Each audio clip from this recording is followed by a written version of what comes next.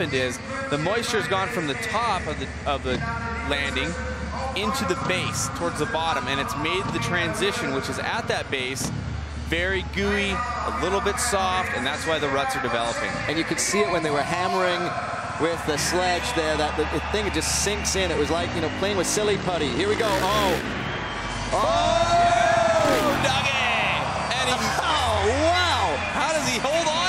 so we both thought the same thing he lost power because he's all over the place fish tailing on the approach he almost hits the upright, and then he lands way off the side of the landing.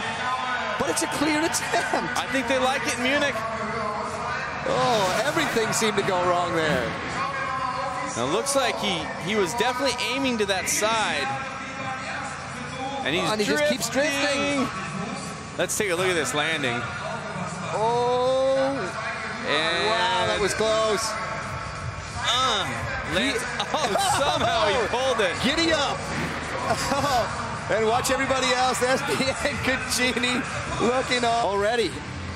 That medal in 1995 going to Libor Karas, I believe, if I'm pronouncing that correctly. Ironically, Libor. Another Libor. How, does Renner have this? That's the question. Well, he looks a little bit nervous, but Ronnie can take the pressure and really deliver. Here we go. Oh, oh, no. he got squirrely going in times two. He was squirrely in the middle of the run-in, and then when he hit the face. He just, again, wasn't trying Look at Libor. One more attempt for Ronnie Renner to get over 29 feet. That attempt is standing between Libor Podmol and a step-up gold medal at X Games. Oh, yeah, yeah, real deep rut there. Real deep rut. I, you know, I saw Ronnie. He was working at the top of the rut, trying to hammer that down. But it was really the bottom of the rut that really set. All right, crystal ball time test. What do you think? Is well, he making it or he's not making if it? If anyone can come through when the pressure's on, it's Ronnie Renner.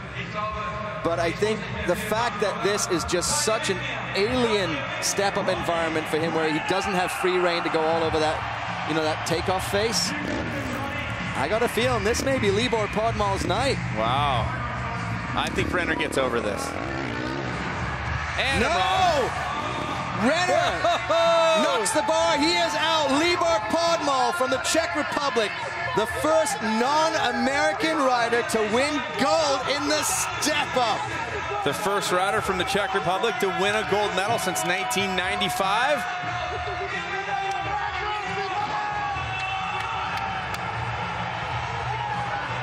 Oh, that's awesome. Renner coming over to congratulate him, and I think a very well-earned victory for Libor Podmol, who had two of the most unusual landings, but he landed them. He stayed attached to the bike, as you said, Cam. And oh man, he is going to be ecstatic tonight. Podmol taking home his very first X Games gold medal. You were shaking on the sidelines. What a relief is this to you? Uh, yeah, um, you know, I was like to get a gold was my dream. You know, to get on X Games was my dream since I was a little kid, and to get here and go home with a gold.